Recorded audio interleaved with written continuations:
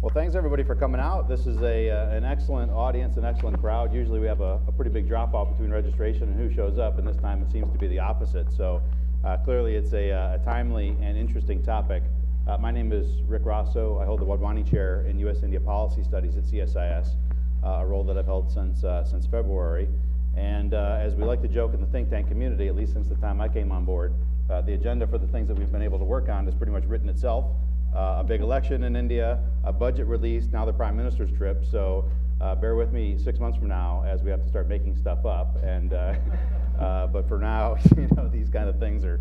It's just pretty obvious what we all have to be uh, working on and focusing on. Uh, got a great group in the audience here uh, representing, of course, the policy community, foreign embassies, the U.S. government, um, companies. So the interest is is even more widespread than than we've seen for some of the other events that we've done so far. You know, it's partially because I think we all recognize that getting relations right between the United States and India, uh, it's a big deal, and it's went well sometimes, not as well other times. And I think, you know, we really saw uh, a, a, high point uh, starting just about 10 years back, uh, you know, I think exhibited most uh, poignantly through the uh, civilian nuclear agreement, and everybody always holds these kind of trips up to that standard. What's the next nuclear deal and when's it going to be signed? Um, let me just start off by saying I, I don't predict that we're going to have nu another nuclear deal signed this trip, but happily proven wrong if it happens otherwise. um, the nuclear deal was the high point, but it also uh, really was the trigger for the deterioration relations, and kind of overlooked, I think, a lot of times.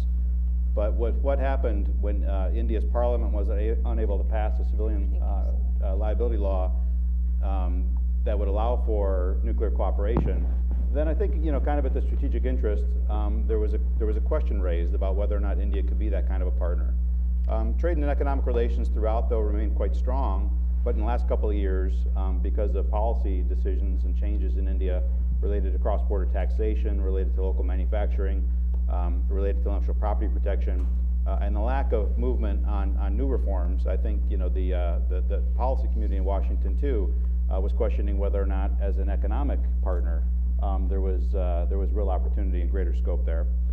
Um, so we got uh, an exciting uh, series of events that took place with uh, the Modi, uh, the BJP's victory in the Lok Sabha elections in April, May.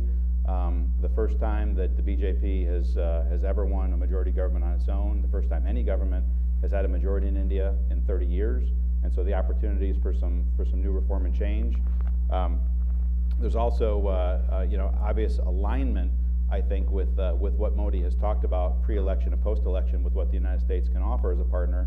Um, but there's, there's also questions. Um, you know, we, we didn't have such good relations with Modi uh, uh, over the last 10 years for a variety of reasons, but particularly because of the visa withdrawal. Um, and we didn't maintain strong relations, I think, uh, also with the, with the BJP. So feeling our way out in this relationship post his election, um, it's been an exercise, but there's been a full court press from the United States. Um, several cabinet secretaries visiting there. Um, at least one cabinet secretary from India has come this way, and several other meetings uh, below the cabinet level. So the, uh, the full court press, as we say in the United States, has certainly been on. But as we look at the visit and we talk about the relationship, part of it presumes that it's actually going to be a government to government relationship. And in fact, what Modi may be looking for may not just be relations with the US government, but relations with the private sector, relations with the diaspora. So in, in organizing this event, we thought there's a million topics we could cover. We've done great work on education, we've done great work on social issues, we've done great work on a variety of fronts. But um, if you were to boil down the relationship into the three areas where you've got the most opportunity for an upside, um, economic and commercial relations, uh, defense and security relations, and how the Indian American community can tie us together, we thought would be three that um, perhaps would be the, uh, the most important. We didn't want to blow this into a 17-day conference in preparation for a, for a shorter visit than that. So uh, we've got three, uh, three excellent uh, guests up on stage today um, to talk about these, uh, the relationship in these three angles. Um, partially about the visit, but also not just the visit itself. You know, this is not just going to be about deliverables for the visit, which is what everybody's focusing on, but how this visit may actually trigger um, a, a, better relationship going forward. So immediately to my right is Ambassador Susan Esserman. Um, she's a partner and chairs the international program at uh, Steptoe and Johnson. Um, she's also a board and executive committee member at the U.S. India Business Council, my former employer. Um, I know this seems a little bit weird as a former U.S. IBCer having one staffer and one board member, but uh, you know, it just so happens that the experts seem to gravitate in that direction. So, uh, Um, you know, prior, uh, Ambassador Esserman had served in a variety of roles in the U.S. government, uh, particularly in the Clinton administration, uh, most recently as the Deputy U.S. Trade Representative. And uh, her, her relationship with India goes back quite some time. Um, when, I first started working on India issues, I had a lot more hair and a lot less knowledge about India. And as uh, Michael Clark and I were trying to figure out what the U.S. government was doing, um, there was one person at a senior level that always returned that phone call and agreed to come to a meeting, chair something, speak on something, and it was Ambassador Esserman. So uh, one, of the, one of the great friends and a privilege to have her on, on stage today. Uh, Suresh Shenoy, uh, very familiar to everybody in this room, I'm sure, an Executive Vice President at Information Management Consultings Incorporated uh, here in Northern Virginia, uh, consulting and technology services company. Um, but uh, you know, well beyond his, his, role at, at IMC, um, he's been a real leader and proponent of bilateral relationship and uh, for him, it's not just coming around when there's a Modi trip. Um, the smaller meetings that others would say are a little bit less important, but that really become the building blocks of a relationship. Um, Suresh has always been there to support his, his intelligence, his wisdom, his wit, and, uh, and everything else at his disposal. So thanks for your Thank work, you. Suresh. I'm glad to have you here. Thank you. And uh, Rahul Madhavan. Uh, Rahul is the uh, Director for Aerospace and Defense at the U.S.-India Business Council. I'm sure all of you know, or hopefully you do, that it represents uh, 300 of the largest companies doing trade and investment between the United States and India. Um, and for him, uh, you know, for some folks at the US IBC, uh, you know, it's, it's, it's a way to get engaged, but for Rahul, he is the engagement. Um, he's at the forefront of everything that's happening on defense and security relations. And so uh, I'm sure we'll all be illuminated by his remarks as well. So we'll start off with, uh, with Sue, please. Great, thank you.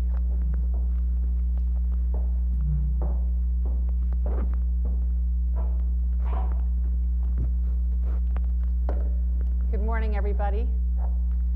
Rick, Morning. thank you for inviting me here. Rahul and Suresh, it's a pleasure to be here with you. Well, Rick, it is true that I believed then, and I continue to believe now, in the enormous potential of the U.S.-India economic relationship. But we have not come close to re realizing its potential. With the arrival of Prime Minister Modi, there is hope and heightened expectation to change that dynamic.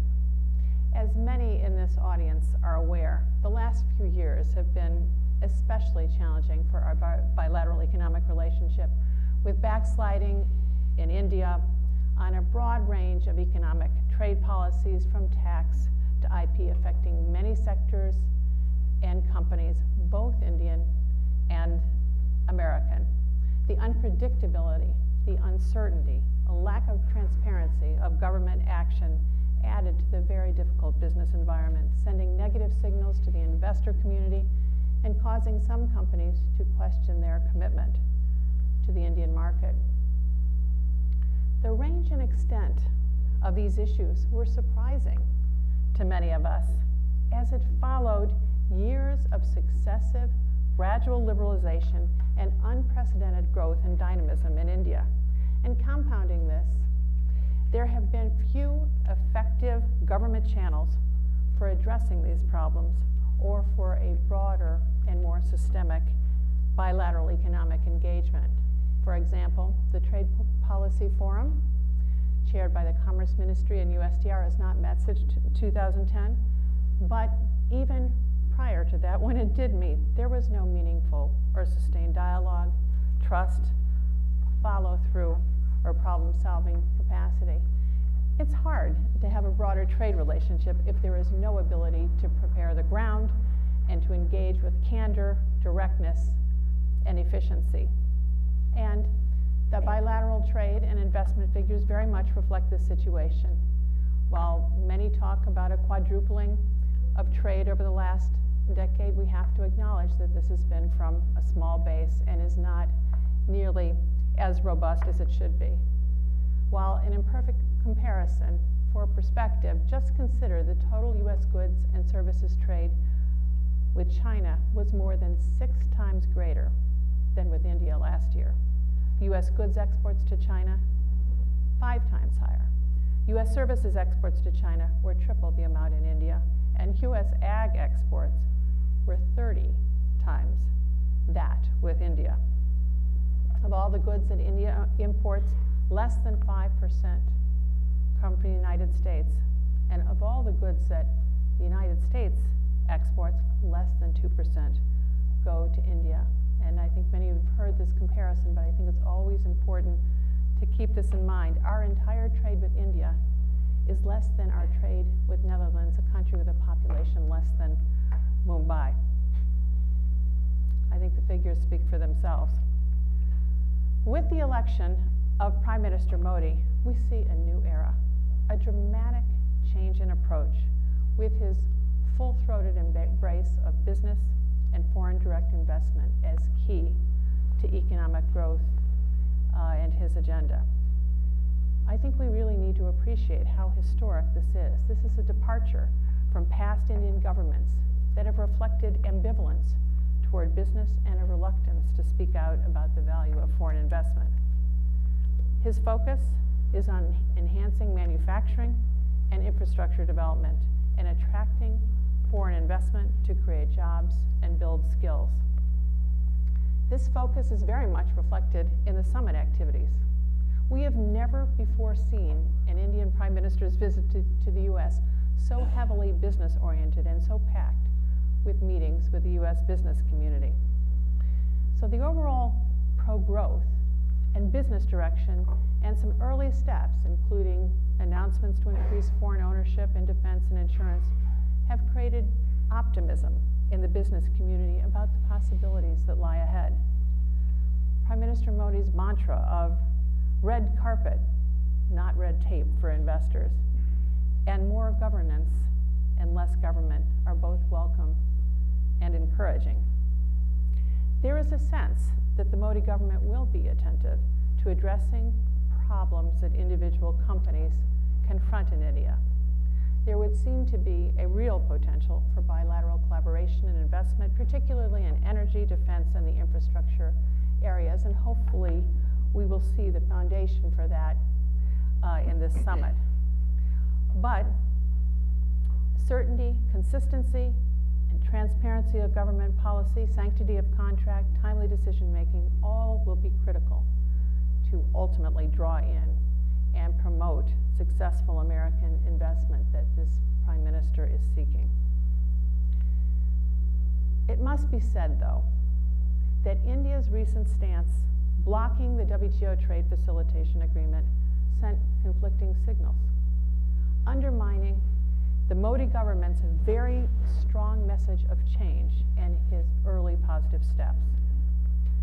It was deeply disappointing and a source of concern as this is the first time I have seen India not follow through on a firm WTO commitment it, it has made especially in this case where India played a central role in negotiating the final terms of the very deal uh, that they have declined to implement and ratify, and especially where India stood to gain from implementation of the Trade Facilitation Agreement and where the agreement India brokered protected it from current cha challenges to its food stockpiling program.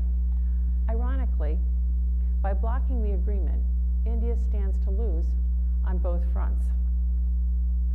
And more fundamentally, this raises a question of how India views its role in the international trading system, how it approaches international agreements, how it sees its role in the broader Asia trading environment, and how it sees trade liberalization fit with its economic mission. My hope is that the July stance on trade facilitation is not indicative of its ultimate position on these broad questions, that it is early days in the Modi administration and that the new government has not yet developed its overall architecture and approach for India's global trade engagement.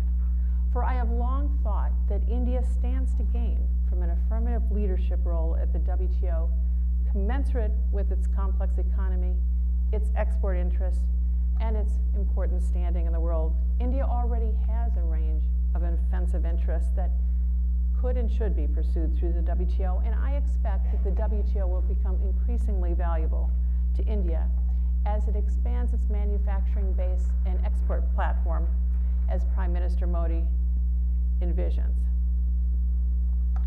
Now, returning to the bilateral relationship, reaching the full potential of our relationship and attracting the investment that Prime Minister Modi seeks will ultimately require a more systemic bilateral engagement. To that end, many of us have long advocated for negotiation and conclusion of a BIT, a bilateral investment treaty. This initiative was endorsed as long ago as 2006 by top leaders in both countries, by Prime Minister Singh and President Bush, and by both the Indian and American business communities, but the work has not moved forward in any meaningful way. The initiative is even more relevant today as it is important and directly related to furthering Prime Minister Modi's goal to attract FDI, particularly in infrastructure. It is my hope that work is given priority and the direction that it deserves so that we will move forward with renewed momentum and vigor. Here, India and the U.S. have a full mutuality of interest, and the bilateral investment treaty would be a building block for a broader and more ambitious relationship between the two countries. As many of you know, the BIT sends a strong signal of stability in the investment environment. It provides core protections against arbitrary and discriminatory treatment that would facilitate U.S. investment in big ticket infrastructure projects where U.S. companies have been very reluctant to invest, especially due to payment security concerns. It creates ground rules that promote consistency, predictability, and transparency in the investment environment. Core issues for our business community as they approach the Indian market. As Rick and I have discussed, it is frustrating that there is not greater appreciation of the value and the direct connection of the BIT to our mutual goals and objectives at this juncture in our relationship. More immediately, I just hope that we can secure some simpler early wins that would build confidence in the relationship. One possibility might be the Global Entry Partnership, a mutually beneficial initiative that the U.S. has offered to only a handful of countries and one that the two countries had previously agreed to explore. It is at the same time practical and symbolic, and it would dramatically improve entry and arrival process, and it would make business and travel easier and more secure. I'm delighted to, to see that uh, also as a, an immediate step that um, the Trade Policy Forum is uh, being reinvigorated uh, and acting, acting Deputy USTR is in India at this, at this point and it was encouraging to read that a meeting will be set uh, shortly.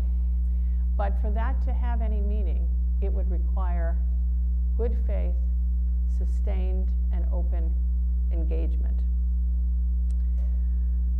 Now looking ahead down the road, it is important to give careful consideration to the direction and ambitions of our overall, overall bilateral trade relationship. Without a broader strategic engagement on trade, we risk facing disincentives and barriers impeding long-term bilateral trade and investment. The U.S. is deeply engaged in trans-Pacific and transatlantic regional trade agreements in which India is not participating, and India itself is negotiating and is a party to a network of agreements with very different standards to which the U.S. is not a party.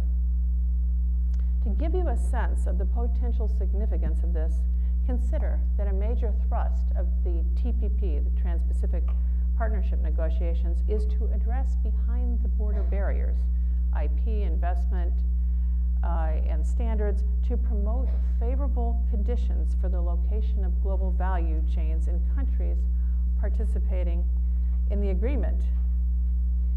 Uh, this uh, will, of course, put India at a disadvantage when competing uh, for such investment. And India, for its part, has agreements offering preferences to member countries not extended to the U.S. So the U.S. and India must think creatively and broadly so that we can structure our relationship to build on our complementary strengths and prevent the diversion that could arise from these different trading blocks. And how this is ultimately addressed, of course, depends on how India seeks to position itself and engage in the broader uh, Asian trade.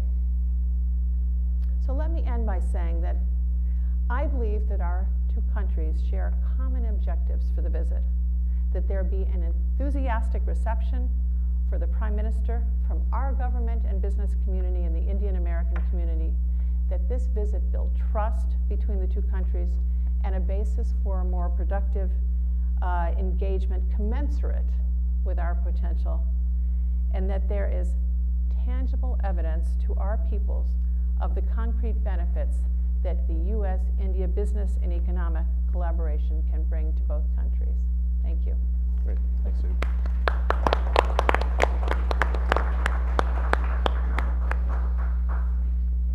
Suresh, I don't know if you want to be there. Can I just Yep, stay? Yep. Tethered. Thank you, Susan, for your remarks. Uh, excellent. And thanks for the kind introduction, Rick. Uh, and nice to be on the panel with you, Rahul. Uh, good morning. Uh, when, when Rick called me and said uh, he wanted me to speak uh, for the diaspora and talk about some of the issues and opportunities and challenges that we face, I, I got thinking about when I first came into this country in 1973 and I had to explain to the phone operator where India was on the map. And uh, I think in those, uh, in the last 40 years or so, uh, uh, the Indian immigrants in this country have certainly come a long way. But in trying to think about the diaspora itself, uh, I, I started to realize that it's not just about the recent wave of Indian immigrants, but the diaspora is actually represented by at least five or six different categories of uh, folks in this country, and they all have uh, significantly, or in some cases, you know, uh, uh, different views, radically different views of how they interact with India. So going back, you know, the earliest uh, Indian immigrants in this country were actually um, in the in 16, 1580 or 1620 is what I understand. But anyway, um, um, there are these early, uh, you know, uh, pre-independent, pre-India's independence movement. You know, there were Indians who came here in the 1920s and 30s and clearly have been here for several generations. Uh, and then there are the what what, we, what I would call the secondary, you know, immigrant people who came from Guyana, Barbados, Trinidad, uh, and and then post World War II, there's a third set of immigrants who came from Central Africa, from Uganda, Kenya, and other places, moved to England and London, then came here, mm. and most of them came here with capital, so they could actually buy hotels and businesses and, and get into the trading space. The more recent uh, uh, immigrants, the, those who came here post 1965, after uh, Lyndon Johnson, you know, uh, sort of pushed and got the Hart-Celler Act and took the quotas out, and allowed more Indians to come in. Uh, there was a very selective process by which Indians came here, and most of them were highly educated, uh, went to engineering schools such as the IITs, um, uh, medical schools, and so on and so forth. That part of the immigrant population has been extremely successful, and those are probably the ones that you mostly read about. And then finally, there is the, the fifth, you know, I think category of uh, diaspora you know, which is very well represented also, are those from the Gulf countries. Uh, people who continue to maintain their Indian citizenship, but have built a fairly strong financial base working out of Gulf countries, but primarily in the middle, you know, in uh, Saudi Arabia and the United Arab Emirates. And they also have been fairly uh, effective, if you will, in, uh, in um, uh, exercising their, their economic might you know, by you know, investing in businesses and so on and so forth. Uh, according to the two, 2010 census, uh, the Indian population now in the United States is close to 3.1 million people.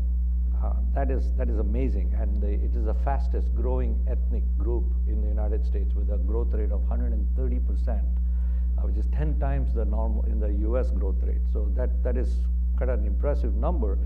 And what is, and they're the fourth largest after Mexico, the Filipinos, and the Chinese.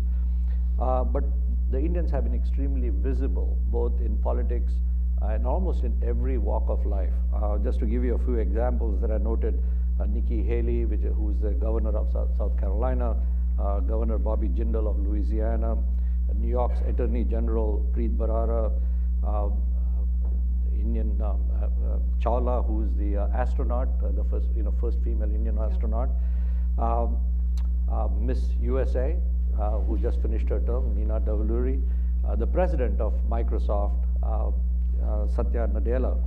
And interestingly enough, over the last, uh, I would say, eight years or so, there's been a strong buildup of an India caucus, both in Congress and in the Senate. So And every spelling bee champion in the United States. Yes. every Uh, spelling bee yeah. champion in the United States. So uh, i i it's, it's very impressive how the Indian community has done in, in, the United States. Uh, the, the per capita income amongst the Indian uh, community here is the highest at $88,500 per household. And compare that to the national average, which is 50,000. So the uh, 71% of all Indians in America have at least a bachelor's degree, if not more, compared to that to a 28% national average.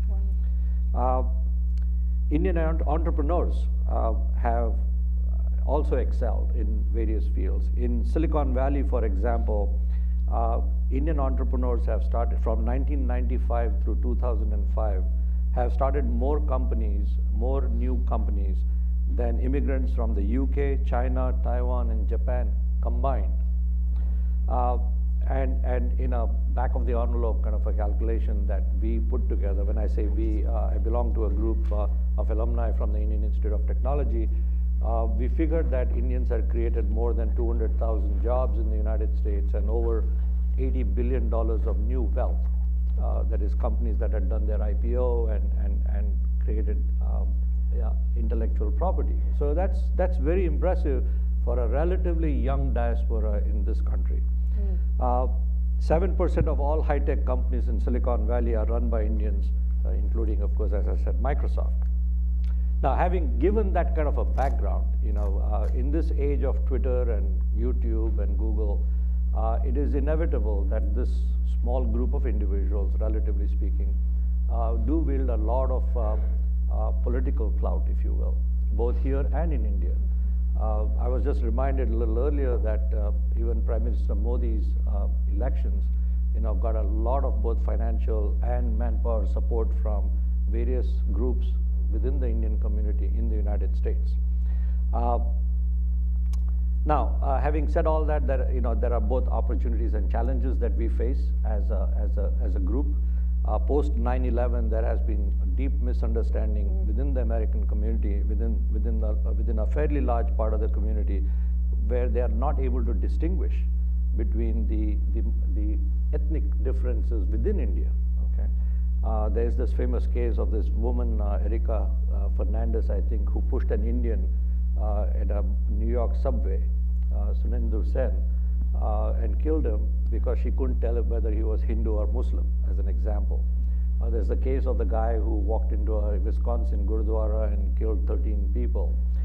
Uh, so those are some challenges that, uh, that the, that the um, uh, diaspora has. There is this group of people called dot busters in, uh, in, in New Jersey, and there have been some very high profile killings uh, in, that, you know, in that neighborhood there. So there, there is still a lot of work to be done uh, amongst the Indian diaspora to raise awareness of uh, the Indian contribution uh, to the to the uh, to the country, uh, to the society to society, and uh, and and this is an area where both the Indian government and the U.S. can help to raise awareness, to have more dialogues and so on and so forth between the the diaspora and the rest of the community. The other thing is that uh, whereas the first generation of Indians, uh, you know, myself as, as an example, uh, still have connections and, uh, and affiliations with people back in India uh, and perhaps even business uh, associations. The second generation and beyond, it's, it's a big question mark. It's kind of interesting that, that we are now seeing the next generation sort of grow, and Rahul is a good example of that. Whereas they, they, they have uh, a certain amount of affiliation with India, uh, they are more American than Indian, if you will. Uh, So uh, uh, uh, there is a there, there's a tremendous acceptance of Indian cultural events, cultural issues, so so and so forth, but not so much of an appreciation for the economic issues in India. Okay. Uh, on the, the on the U.S. policy side, the, the the loud and often vocal dialogue around immigration uh, can become very divisive and can be construed as being discriminatory in some cases. Uh, but there are very good reasons why this dialogue and this debate happens. Uh, because you know clearly you cannot have one set of uh, rules for say you know a segment of the society and another for another segment of the society. Um, and this is also true in India. The problem is that you know we have an office in India. We have uh, several hundred people working there, and uh, it's a challenge working with inconsistent and unpredictable policies that the government has um, especially when it comes to remittances, when it comes to uh, uh, transfer pricing, when it comes to uh, uh, you know um, the, the, the, the unpredictability of the rupee, for example. So, so these are issues which I clearly think the Indian government needs to sort of pay attention to in terms of attracting more direct investments by the Indian diaspora as well as others uh, in terms of providing uh, uh, an environment that is business friendly. in terms of opportunities, one of the things that we have seen is that the Indian approach in India to new investments can be very different from the, the US thinking of uh, uh, investments in the sense that there is a tremendous uh, emphasis being placed on social entrepreneurship when uh, President Abdul Kalam was here, uh, he challenged a few of us to sort of think about and come up with common solutions to common problems. He said, most of you have adopted America as your home country. You know, uh, now think about ways in which you can solve common problems. And we had a, a very interesting dialogue, and we came up with six areas that we thought would be of significance to both United States and India, which would be which would lend themselves to what we call technology-enabled philanthropy. And this has to do around clean drinking waters to start with. Uh, some of the statistics are mind-boggling. 400 million people in India are going to run out of access to potable water within the next decade or so. Uh, next is healthcare, which is a challenge here in the United States as well as in India. Uh, something like 700 million people who live in villages in India don't have access to proper healthcare. Energy is a big issue. Uh, I have some colleagues and friends here in the audience who, who have fo focused on that aspect. Again, 300 million people don't have access to, uh, to affordable energy in India. And uh, uh alternative energy represents a huge opportunity for both industry yeah. Uh, and for uh, you know, societies to adopt. lifestyle, rural lifestyles. Uh, Prime Minister Modi in his speech during Independence Day talked about sanitation as a big challenge. Uh, recently, you know, we, we've been working together with Habitat for Humanity as well as with uh, the American Association of uh, Physicians of Indian Origin who started a program called SEVAK to build toilets in India. And, and it didn't occur to us that, that something as basic as toilets that we would take for granted in the United States, uh, it has direct consequences on women's health. So for example, we were told that women in India, particularly in villages, don't drink water or eat during daytime because they don't have toilet facilities that they can use, sanitation facilities. So as a result, there is a direct implication between healthcare issues and, and sanitation. Uh, and last but not least, implement social entrepreneurial ventures in a sustainable manner. Uh, so there are some really interesting uh, uh, challenges there, we, you know, in terms of looking at the social impact instead of a return on investment. So, um, so one of the things that they, a small group of alumni from the IITs did was to start building reverse osmosis drinking water plants in villages where, you know, for $3,500 they could provide uh, clean drinking water at 2 rupees per liter, which is pennies per liter, for 20,000 people. So that's the kind of uh, thinking that needs to happen between the business community in the United States and in India to have a huge exponential uh, kind of uh, impact on the social demands. Uh, in the education space, just to finish it up, Uh, there are 26 million children who enter kindergarten each year in India, which is more than the population of Australia and Canada and United Arab Emirates combined. 26 million children attend, coming into kindergarten each year. And to meet India's current demand for higher education, for post college, uh, higher secondary education, India needs to build 20,000 universities today to meet the demand. So as a result, we see 84,000 students here in the United States and almost an equal number in Australia and Singapore and other places, which is a huge drain on foreign, uh, on, on, on the dollar reserves that India has. So the, the challenges are huge, but they also represent enormous um, opportunities uh, where the diaspora can play a significant role and is, is currently playing a significant role. And I think as we, as we ponder uh, some of the trade issues and some of the trade relationships, I, think it is important to look at it both from the US perspective as well as from the Indian perspective, where the social demands are significantly larger than the direct economic demands. So with that, uh, thank you for this opportunity, Rick, and look forward to that dialogue. Great, great. Uh, Rahul, one of the areas that, uh, yeah, sorry. yeah. One of the areas that seemed to maintain a bit of momentum, even if everything else was uh, crashing apart, or so it seemed from the outside, but give us an insider's view, defense relationship, Yeah. where we are and where we might go. Yeah, thank you, Rick, first of all, for having me. It's my first time here at CSIS. The new building is gorgeous, and uh, at the same time, feel quite at home because, of course, we have a 10-year veteran of the U.S.-India Business Council. We have a board member, and IMC is represented on the board as well. So it's pretty tremendous. And speaking of large numbers, which any comparison to India will invite, I'm very pleased to see the size of the crowd here, which I think speaks to the interest that this prime ministerial visit has generated. Uh, in the crowd, I do want to recognize a lot of USIBC members as well, and of course my former boss and mentor, Dr. Walter Anderson. If I could just take that liberty of, of acknowledging him. The uh, U.S.-India Business Council, as Rick mentioned earlier, does represent 325 U.S. and Indian companies. We're based here in Washington. We have offices in Delhi, New York, and the Bay Area. And um, I handle our aerospace and defense advocacy work, and that involves working with both Indian and American defense companies um, and informing our U.S. government and Indian government stakeholders to the best of our ability of what we can do to increase and enhance bilateral defense trade. The past regime, the past, is the past. And I think that what this visit represents is really, truly a uh, fresh start in, across the board. One of the first things I had as, as written remarks was that defense relations don't occur in a vacuum. Defense relations between two countries occur with a strong underpinning of an economic, a political, a commercial understanding, and certainly people-to-people ties. Just yesterday, Yudh Abhyas, which is one of the largest joint military exercises, commenced in Uttarakhand um, between the U.S. and Indian armies. And it's a high-altitude special operations counterterrorism type activity that wasn't necessarily timed in conjunction with the visit, but I think is symbolic of the fact that we are now re-engaged on some of the more core understandings that we have between our two military infrastructures.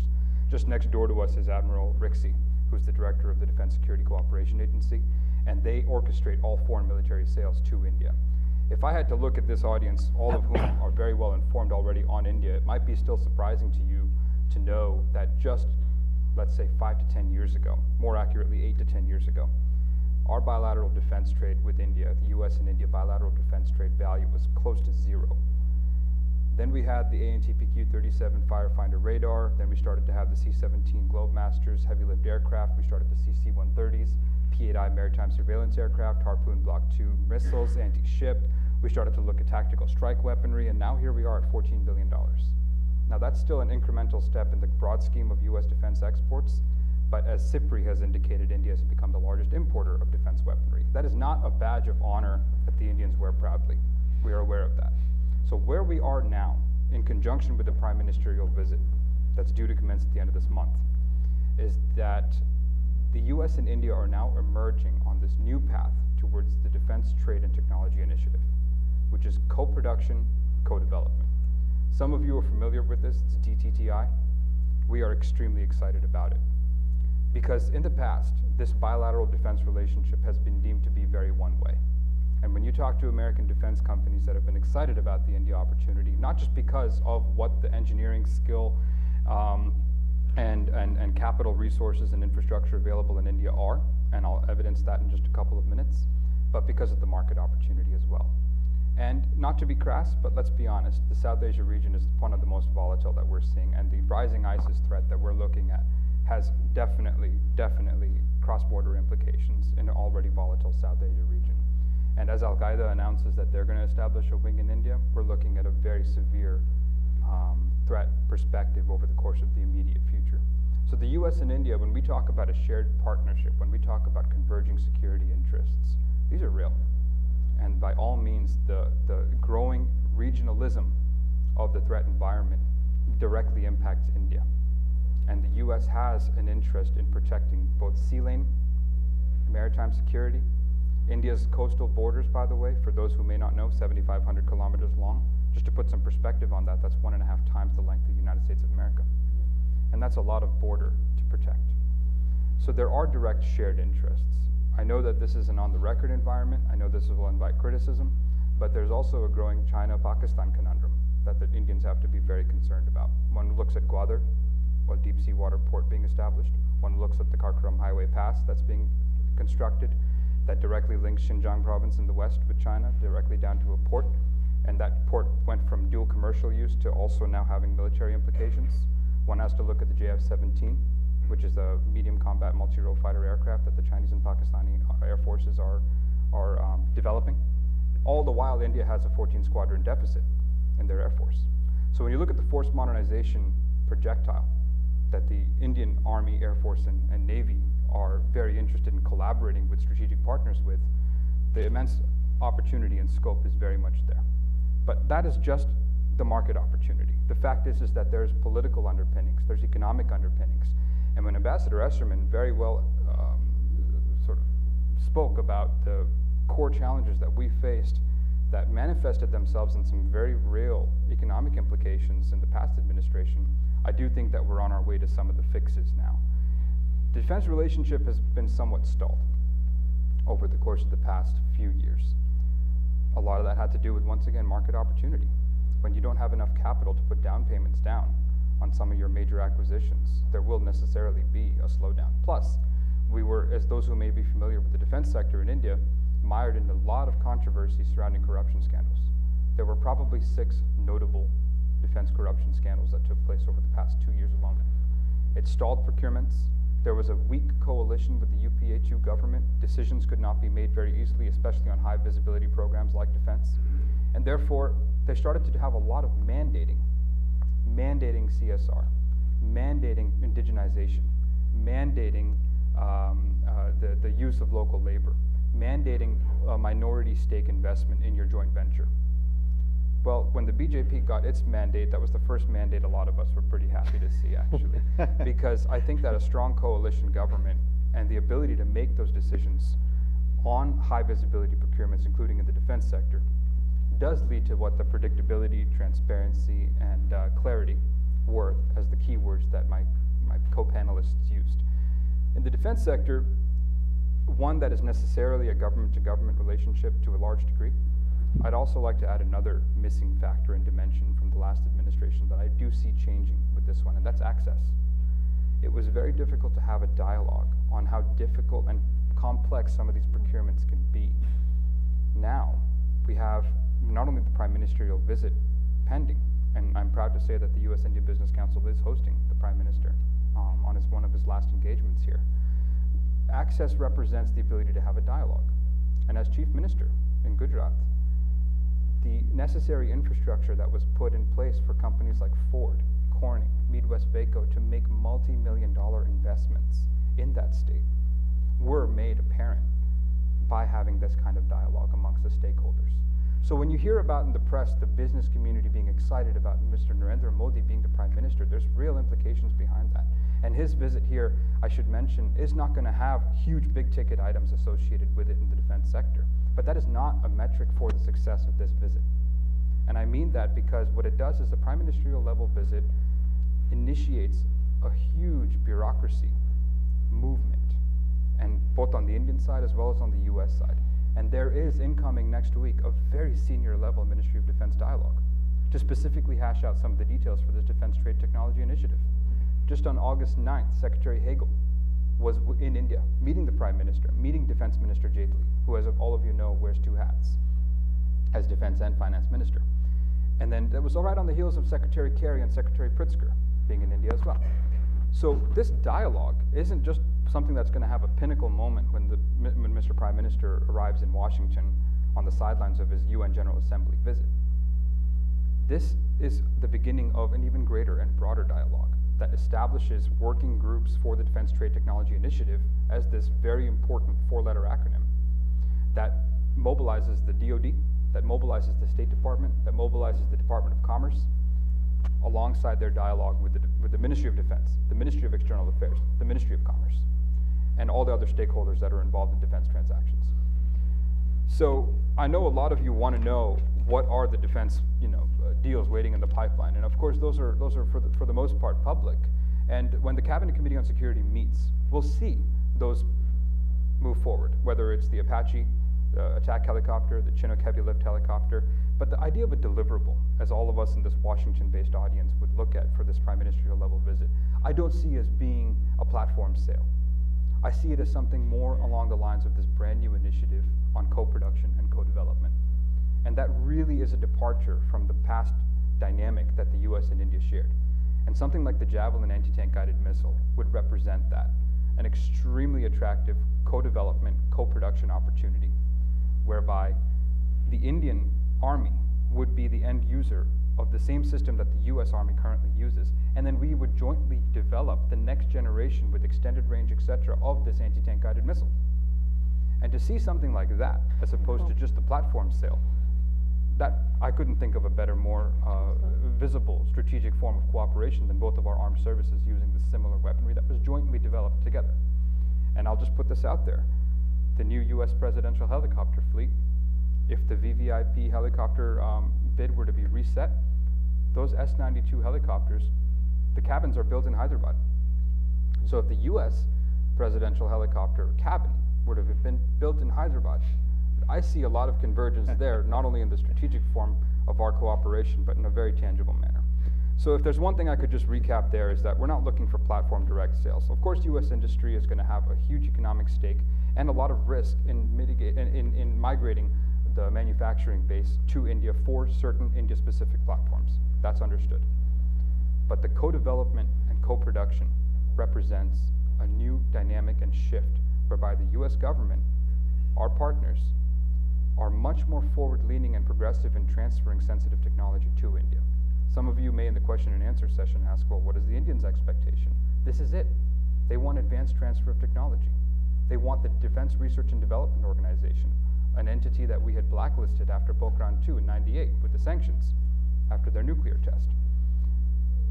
We would be interlocuting with DRDO about technology transfer. And this is all a brand new environment, literally within the past three to four years. And I see no greater form of evolution in a bilateral relationship than I do in our defense relationship with India. Because, like I mentioned at the beginning of these remarks, we were at zero eight to 10 years ago. So I did want to I did want to stress that when the Prime Minister visits and the MOD delegation visits, and then of course Minister Jaitley visits shortly after that, on the sidelines of the World Bank IMF meetings. Then there's going to be the Defense Policy Group. Then there's going to be the Defense Production and Procurement Group. Then Undersecretary Kendall may be visiting India again. He's the point person on this Defense Trade and Technology Initiative. We're tracking this closely, and the, the engagements are robust. And what the outcome of all of this will be will not be necessarily more direct sales, but it's going to be looking at avenues of cooperation where we can mm. jointly produce and manufacture and transfer necessary technology to Indian entities and have joint use of those end products. I told you I would talk about the joint venture facility just a little bit. Lockheed Martin is manufacturing alongside Tata the tailframe and empennage facilities for the C-130J Super, Super Hercules. I can assure you, based on information from the Indian government, US government, Lockheed Martin, Tata, all stakeholders involved, that the quality of those tailframes that emerge out of their Hyderabad facility is the best they have globally. Similarly, the, what I mentioned earlier with the Sikorsky S-92 cabins, the quality is of global standard. So what we look forward to is a very, very strong, robust level of cooperation that the Prime Minister's visit is going to open the door for. You need necessarily a certain level of political impetus to push this forward. This is not a bureaucratic procedure. But in order for the bureaucracies to understand the significance placed on this visit, which I'm sure and I can assure you they do, I think that this is going to instigate that. So I'm very optimistic of the Prime Minister's visit. And for those who still don't really uh, see why I see it as being okay that no big platform sales will be announced, is because this is not the Prime Minister coming to the U.S. just to meet with the President. This is the Prime Minister making a special trip down to Washington, and he will be very warmly received. Let's put any doubt about that aside. And his four-day trip here, whether it's in New York or in Washington, the stakeholders that he will be engaging with are extremely eager to receive him in the delegation. And I'm so happy that we're in this new phase where we can look forward instead of continuing to look through a rearview mirror. Great, thanks, Rahul. Thank you. Yeah, I think, I think we all are a, a little bit surprised, you know, because of the, uh, the freeze out in, in senior level engagement with Mr. Modi. And I know from my interactions with senior BJP, RSS, whomever you want to talk about, uh, leadership before the election, they thought, well, you know, our interests are aligned, but we're going to play it a little cool initially after the win, which they were assured of, um, just because of the visa and other things. But I think to all, all of our surprise, engagement has come about at, at, a, at a more senior level and faster than, than a lot of people had assumed. Um, I want to leave you know time for questions from the audience, but I thought I'd prompt uh, each of our speakers um, with uh, with one uh, relatively quick question uh, apiece. Um, you know, Ambassador Esserman, um, you know, when we talk about engaging India on trade disputes, you know, you I, I saw very closely at USIBC had some real successes in doing so, particularly your engagement on quantitative restrictions and bringing that down. Um, what was it about the way that you, the way the government engaged then, that, that allowed for success that we haven't really seen as other commercial disputes? Any, any kind of advice and expertise you can share? Well, I want to take off on what Rahul said because I think there's a link there. This was in 1999 and 2000, and we negotiated five agreements then, including one that lifted quantitative restrictions on 1,400 products to show how closed the Indian market was. But I think the key was the signal from the top, the Prime Minister's office, and secretary level people that were willing to stick their neck out. They got the message and were we, and, and, and actually interesting in light of what I said about the WTO, once they made the commitments, they followed through on those uh, commitments. So I think that's a critical thing and why I, I couldn't agree with you more about what you said about the visit. I, I don't pay that much attention to the long list of deliverables um, as I've told you many times. The question is, what is the mood? What is the trust that's built? What are the, what are the signals that the government, that the bureaucracy gets from the Prime Minister's visit? And the same on our side to drive things forward because often what you see with a lot of these visits is a long list of things and then no follow-up. The key is the intensity, the direction, and really setting some concrete uh, future guideposts. So I think that's the thing. I just say one thing that I just remembered this morning. I remember when Prime Minister Vajpayee was coming to the United States in September of 2000. And at that time, I actually was trying very hard to get him to make a speech about the value of economic relations to the United States of the Indian-U.S. relationship. And for any number of reasons, they were not at all interested in that. And it's why it's really such a thrill to have a prime minister come here and really make that a central part of the focus. It's, it is truly a new era. Mm. Well, actually, on, on follow-through, I'll, I'll, turn to Rahul because you know one thing that I saw also very different. So when when uh, the Congress government surprised everybody by winning the election in 2004, and you saw the first signals from Finance Minister Shanmugam's first speech, the budget speech. He listed three sectors that he wanted to uh, to offer up for uh, for individual reforms.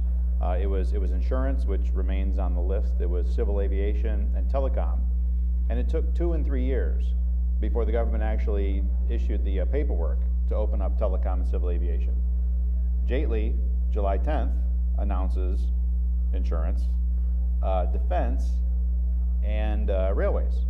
and already defense and railways have been announced. But Rahul, I wonder if you could talk about 49% in defense. with, with, uh, with more than that on case by case, but 49 in defense. Does that move the needle from 26? Or if you were to sit down with the prime minister, would that remain just as strong of a talking point about lifting the cap further? Yeah, it, it does move the needle because you can then repatriate a greater share of that profit back to your host country, let's call it. But there's actually an institutional investment route where you can even go greater than the 49%. The idea behind 49 versus 51% ownership, minority, majority minority versus majority stake, is in terms of having Indian management and control. It's too early for them to take a radical departure from the 26% minority stake. So what they did was they gave it the highest maximum level of the minority stake any foreign entity could hold. And it's also not a bilateral problem, it's a global issue. So the Italians and the French, the EU context in general, they're pressuring the Indian government as well for majority ownership. Now, that, tw- that 26 to 49 actually was complemented by an early 100-day kind of move, which was they, uh, the Department of Industrial Policy and Promotion, the DIPP, delicensed close to 60% of the list of what was required for getting a license to manufacture in the defense sector. So certain sectors such as tanks and armaments still require a DIPP license to produce. But in order to incentivize domestic manufacturing in India, they made that process significantly easier. And, and Ambassador Esserman, the red carpet in the defense sector for manufacturing in India right now is very much laid out because the DIPP took off a huge, substantial portion of what was required otherwise to heavily, heavily licensed um, uh, products to manufacture. And I'm happy to go offline with any one of you who are interested in that list and send it to you. And Suresh, um, one thing I'll throw over to you. So you referenced that uh, there, there was a strong group of Indian Americans that supported um, the BJP and the rise of Prime Minister Modi. Post-election, um, does that does that create divisions politically back here, or do you feel that you know the community at large is kind of pulling at the same oars at the same time because you know this is a development-oriented administration, and of course everybody wants to see that. So would you say that you know embraced fully with the Indian American community with the visit and all this? Is there are there divisions still? Um, my personal, you know, uh, sense is that there has not been any division in the Indian community on um, on this new government. The Indian uh, diaspora here, uh, in general, wherever you went, heard about uh, corruption. You heard about some of the challenges that uh, the previous, you know, government over the last, uh, you know, two elections at least, you know, how things had deteriorated over time. So everyone was ready for a change.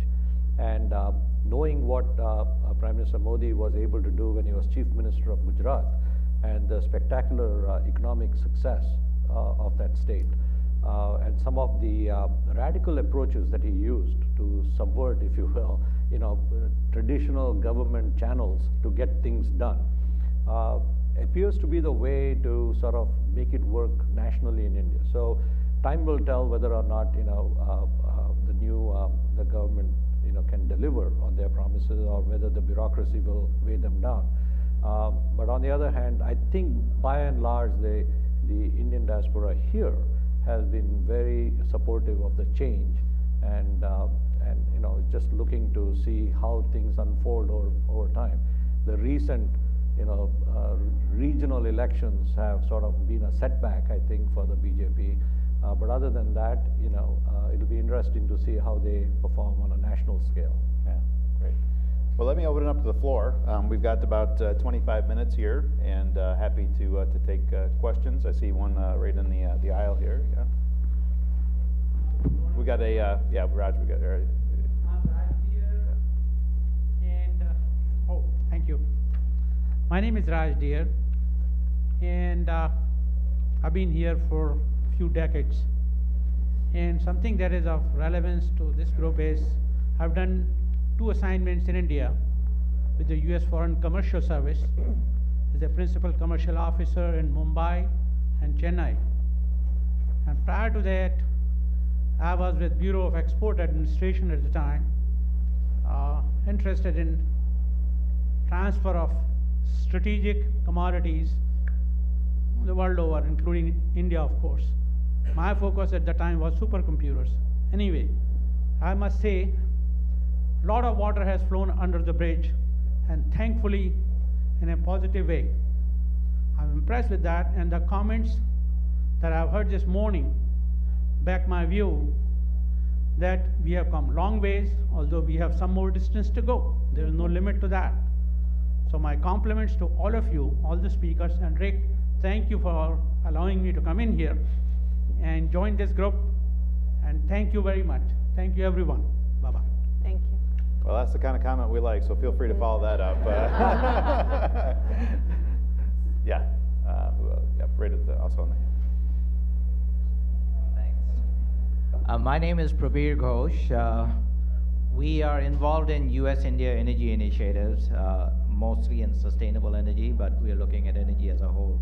Uh, I know uh, a few comments uh, that's related to my question is, yes, we'd like to look at uh, India. There's a huge trade opportunity. There are lots of issues that needs to be resolved. But if you look at India and China, uh, I know, uh, Susan, you commented about that uh, US exports to India is very low, but if you look at the ratio, uh, the ratio with India, US imports and exports is about 60% uh, and 40% compared to China, where it's almost 90 and 10.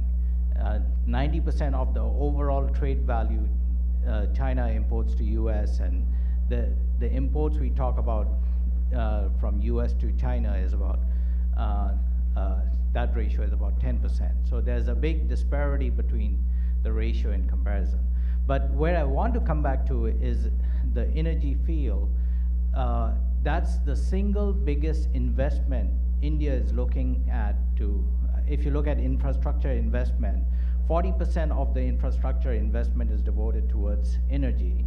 And uh, from it, if you look at uh, uh, the Bloomberg Finance, new energy finance we are talking about, they are talking about uh, you, uh, India in the next 16 years, the 2030 outlook, the next 16 years will invest in one and a half times of US installations. Uh, if you are talking about US is roughly about 550 gigawatts of Uh, installs. can you get and, to the uh, question, yeah. India will be installing about 650. So there's almost a four to six trillion dollar opportunity. Even if we can get about 2% of that or 3% of that, we are talking about a billion dollar opportunity in the next 16 years. Uh, can any of you comment on what's going on in the energy side besides nuclear? I know that's a big de- debate. Yeah. Uh, besides nuclear, can you comment on that? Well, I, um, you know, the, the big problem we had, you know, when India first began to open in the 90s, it was power plants was one of the first areas that 100% foreign direct investment was allowed, and uh, you know, electricity generation is a state subject. Um, there were about a dozen power projects built across India by different American companies. Enron's the one that was most visible, but Covanta, CMS, El Paso, Caterpillar, um, there's a whole bunch of projects that were built, and every single one of them, no matter which state, uh, had problems getting paid afterwards. Um, they had letter of escrow, they had um, a letter of credit escrow accounts, state guarantees, and, and in some cases a central government counter guarantee. So, and, and the fact is that a lot of the same chief ministers that were around then are still around now. So the transitions haven't been total, I think, to, to change those dynamics. A World Bank report that came out last year looking at the electricity sector across India showed that in fact a lot of states, the, the sectors were just as bad as they were a decade before. So the environment makes it pretty difficult, I think, to go in.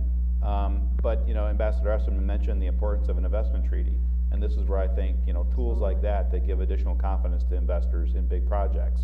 That if something goes wrong, if they don't get paid, they've got, you know, some, some recourse, uh, I think, I think will help quite a bit. Um, the other big story on energy is, is shale gas. Um, India's not an FTA partner, so they don't get blanket approval for, for shale gas exports. But uh, there's been a handful of American natural gas export terminals licensed for, uh, for export to non-FTA partners, and at least two of those have, have contracted uh, to export to India. So when those come online in a couple of years too, that should help offset the uh, trade deficit. So those are the couple of areas I think I paid close And, attention to. and, and there's some real opportunities in the alternative energy field. Yeah, it's just not alternative energy. The other big area we really see, because we work closely, is the distributed energy, the microgrids. The microgrids, Uh, right. These are Mhm. smart grids. These Smart are grids. huge opportunities where US can uh, definitely get in. A lot of opportunity areas, especially with Suresh talking about social entrepreneurship and addressing all the social issues for about half, half of is that 600 million population uh, is a The- the- huge issue. The the difficulty is. I, I see politicians consistently talk about adding new generation. The cheapest way to fix India's electricity grid is a really big pair of scissors. Sorry? A really big pair of scissors. If you were to actually walk by and cut off all the people that were All keeping the- electricity and get them to pay their bills. The 30% um, the- losses. Yeah, because the cost for actually uh, slowing transmission distribution losses versus new generation is dramatically lower. But, you know, it's the old line, uh, if you owe the bank hundred dollars, you're in trouble. If you owe the bank a billion dollars, the bank's in trouble. And it's kind of like that with politicians now. If they ever went through with the scissors and started cutting off the thieves, not just, the, you know, the lines themselves, but non-payers of bills, um, tough to get reelected in that way. You know, I've seen a lot of great chief ministers that have tried to do tough electricity reforms, and they ended up getting voted out of office not long afterwards. So, um, but distributed, I think, yeah, there is some, some great opportunities there, so I think you're right on. Yeah. Um, other questions? Yep, a couple right there in a row. My name is Emerald De La Rosa of the private sector. This question is for Rahul. Um, how realistic slash optimistic are you that there will be a military transfer of technology from the U.S. to India? There already has been a number of examples. There already has been, and, and, and you don't produce, even if it's a basic cabin facility or a tail frame, without that necessary transfer of technology. But with any equipment sale, there's been elements of TOT, as we call it, um, that have already transpired. And the ones that have in the pipeline, whether it's certain naval gun technology or uh, aircraft launch mechanisms or uh, advanced projectiles, those all accompany transfer of technology packages as well. That's the key demand from the Indian government, and that's something that the U.S. industry is ready to um, accept. And the uh, gentleman right next to you, yeah. Mark Pace, Washington Times. Um, what is the biggest economic priority for the U.S. of the meeting and the biggest economic priority of uh, India for the meeting? When he's- Biggest priority. Biggest priority for the Indians in the U.S. Biggest economic priority.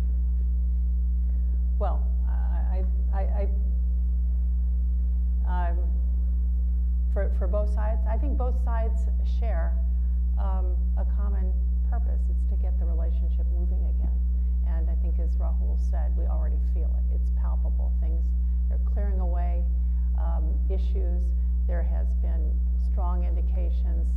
Um, and I think the, the most important thing is to, to get things going, send some strong signals, get some deals done, and um, create the right kind of environment to ensure that the investments are successful. That's going to be uh, key to it.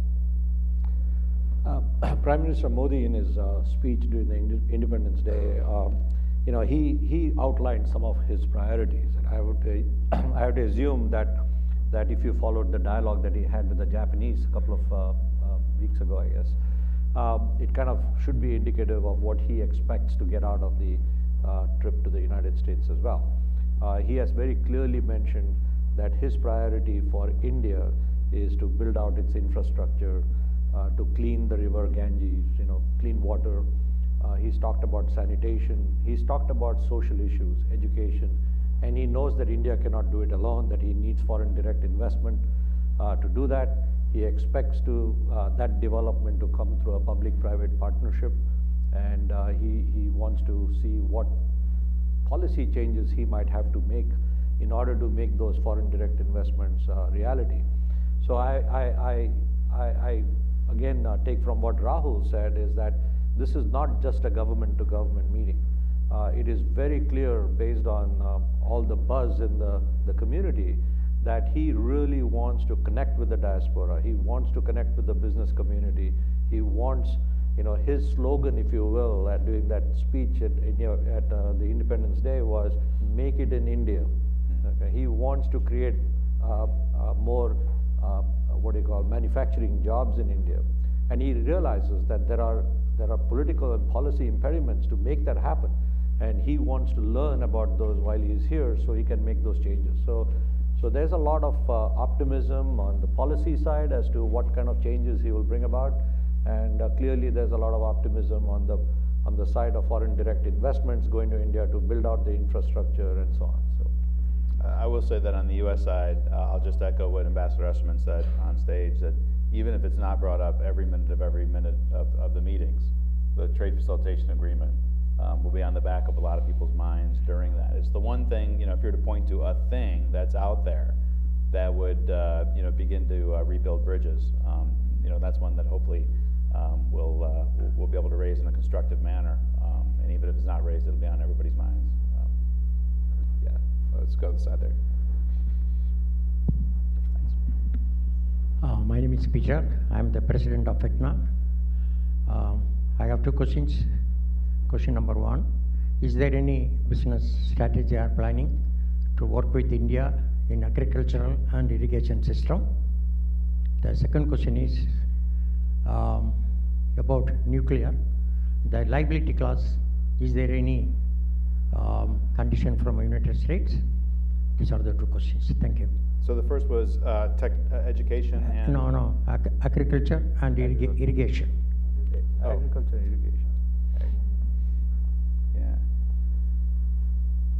Well, um, on you know, aviation, you could, No, on agriculture and irrigation, I, I hate to do this, but I can yes, yeah, definitely you missed it that introduce time. you Yeah. to my colleagues who handle that portfolio and work with agriculture and, um, and, and, and, and the food supply companies that we work with, both Indian and American. I can connect you with them and get you an answer.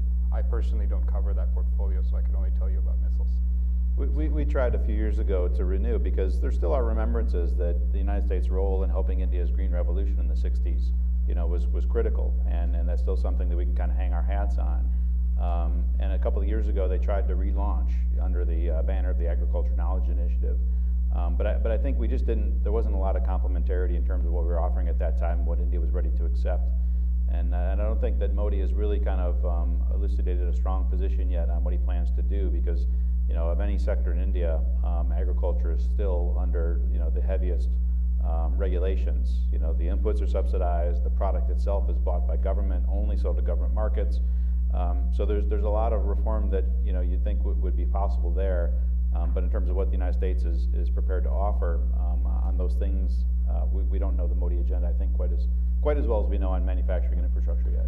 Well, it's kind of interesting. Uh, again, under the Wheels program that I talked about, the six areas, uh, agriculture is a very interesting one. It there was a study conducted by HUDCO in India, the Housing and Urban uh, you know, Development Co- Cooperative in India, and they found that 60 or 65 percent of all of India's agricultural produce was wasted and lost in the supply chain. So uh, when, when companies like Walmart and others wanted to go to India and build out, uh, we thought from, from the US perspective that is, that that was an excellent uh, uh, initiative to improve India's supply chain challenges. Uh, and, and there are a lot of other uh, statistics. So for example, 70% of India's agricultural produce comes from 3,500 village clusters. Okay, so just building out the infrastructure to connect these village clusters, improving local storage, you know, promoting local, you know, uh, uh, canning facilities and mass production facilities, by just reducing the waste from 60% to 10 or 15%, India could become the breadbasket for a lot of Southeast Asia. So the opportunities are enormous, and when we put the numbers together to build out that infrastructure, it was a trillion dollar kind of an opportunity just to build out the, the, the supply chain requirements. And, and, and guess what? Most of that technology is right here in the US for very large scale canning, you know, freeze drying, and so on and so forth. So those opportunities are there, and it's a matter of raising the awareness and removing the impediments to, you know, the policy impediments to, uh, to companies such as Walmart and others to get into India and improve the supply chain, you know, processes. So I think there is some real opportunity there, and maybe USIBC can take that up. I read way too much on India stuff, but once in a while an article sticks out that, that gets stuck in your brain for a long time. And last year, when vegetable prices in India were really spiking, The Economist had one of these little side articles that was meant to be kind of a throwaway, um, The Journey of an Onion. Oh, yes. Yeah. If you haven't read it, read it. Uh, this talks about from the onion getting plucked out of the ground until it gets into a city, the various things it goes through, the secret handshakes underneath blankets, the number of times it has to get dumped on the ground, squashed, and reloaded back in a truck, uh, at the various stops on the way to, uh, to ultimately being sold. You know, those little side pieces once in a while tell you greater stories than 50 articles otherwise. Um, yeah, uh, all the way in the back. Oh, the second question on, on nuclear. Well, I think civilian nuclear liability, we've got to find an answer for that. And I don't think the companies say that the answer can come from anywhere except for an amendment to the law, which so far we've not seen a lot of willingness. There's been, there's been other attempts to find side deals that could complement that, that could, that could fix that, but um, so far I don't think anything's been drawn conclusively. I don't know if others have.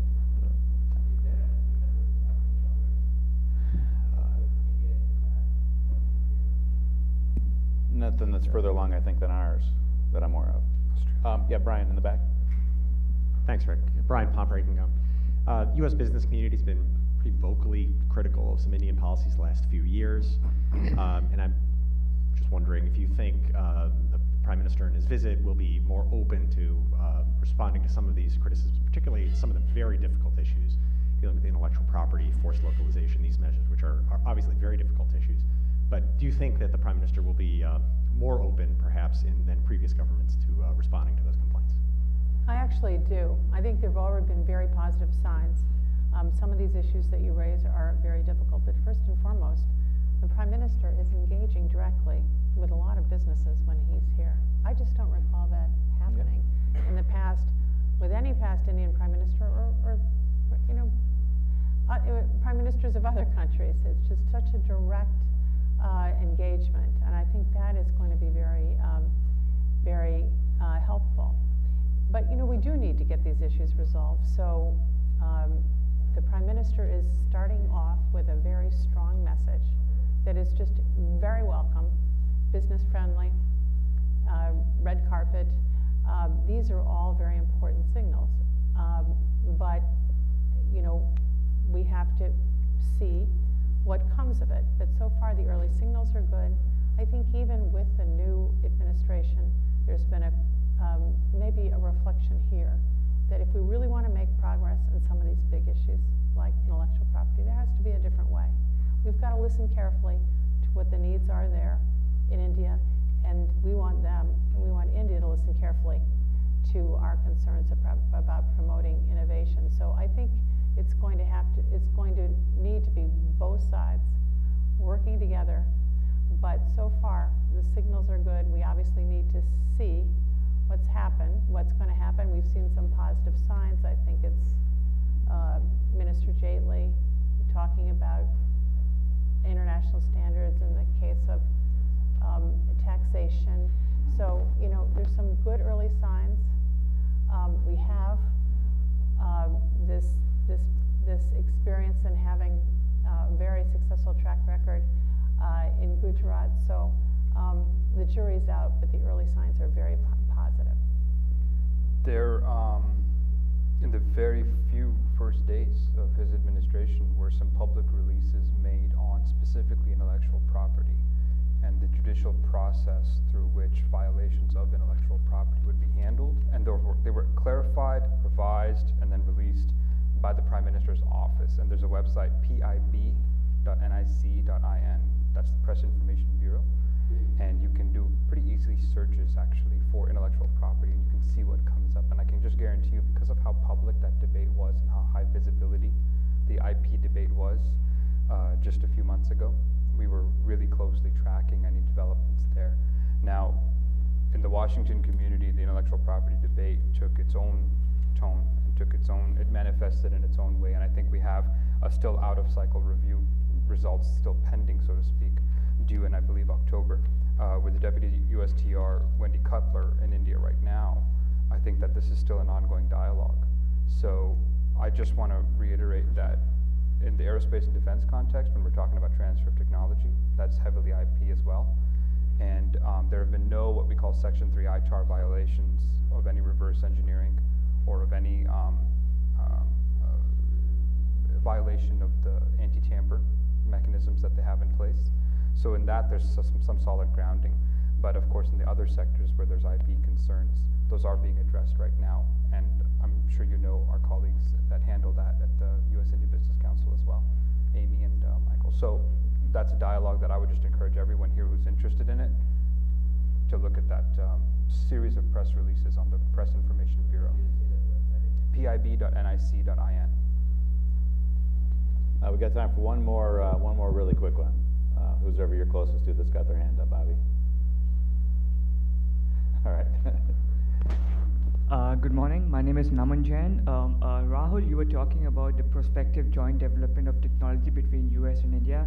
Could you see that as a potential, uh, you know, reinvigoration of uh, uh, Obama's pivot to Asia? The part right before the pivot to Asia. Uh, like, uh, could you see that being reinvigorating that pivot to Asia? Because there's been a lot of debate about, you know, how well that pivot has worked. So could that be a possible reinvigoration? I don't think there should be a debate about how well the pivot has worked because it's working. Um, the reallocation of naval assets to the Indian Ocean region is one tangible example, but the overall refocus on engaging strategic partners and democracies such as India in the South Asia region uh, is very much, I think, a consistent um, procedure that this administration across the board has already pursued. Um, whether it's defense sales and this new DTTI, which is part of the rebalance, that's one asset, aspect of it. Discussing post-2014 Afghanistan withdrawal, I imagine that conversation changing on a day-to-day basis at this point. And also um, talking about Indian Ocean securitization and the Arabian Sea and the Bay of Bengal, uh, some of the key cooperative mechanisms we can pursue through our navies, and looking at joint exercises with Japan, such as Malabar, looking at uh, Air Force joint exercises like Red Flag here in Nevada.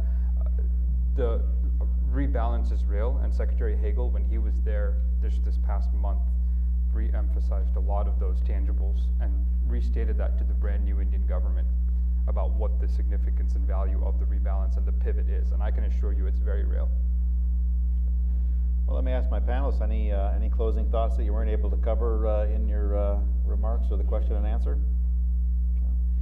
I think there's some, some really great themes that came out here today. I think the, uh, the visit itself is the prime deliverable. Yep. The fact that this got on the agenda is happening faster than most of us realized. Um, business meetings may ultimately prove to have at least as much substance as the government-to-government meetings will. Um, and a personal thought, but you know, we, we, we complain that the relationship had become transactional. Uh, that may happen under Modi, and I don't think transactional needs to be a bad thing. I think Absolutely. companies and governments that sit down across the table from him and say, sir, if you can give this, I can give that. Um, that's the way that he operated in Gujarat, and it was a pretty effective way of operating. So don't hold transactional as necessarily a, uh, a negative. Um, and transformative, like when we talk about the relationship, there's a lot of things that might happen. There's a few pretty good things that are gonna happen. You know, shale gas exports to India will begin, at least from the two facilities that have been licensed already. The Defense Framework Agreement expires next year, and I see a strong commitment from both sides to re-signing that. So there's some good things that you can be sure are gonna happen. And lastly, on the visit itself, I look back to 2004 in January on, uh, when, uh, we signed the next steps in strategic partnership at that time. That was another agreement for a talk shop. And I know a lot of us get a little bit tired on more agreements for talk shops. But it was that talk shop that resulted in the single biggest deal that we ever signed together, the nuclear deal, less than one year later. So just the idea, if the deliverables from the bilat end up being more opportunities to engage, we're talking to a different group. And the opportunities uh, through engagement, you know, that's really where the meat and substance comes from later on. So we might see it six months later, a year later. Um, but I'm, I'm pretty excited to see what happens out of this. So thank you all for joining me. Thank Please you. join me in welcoming our Thank guests.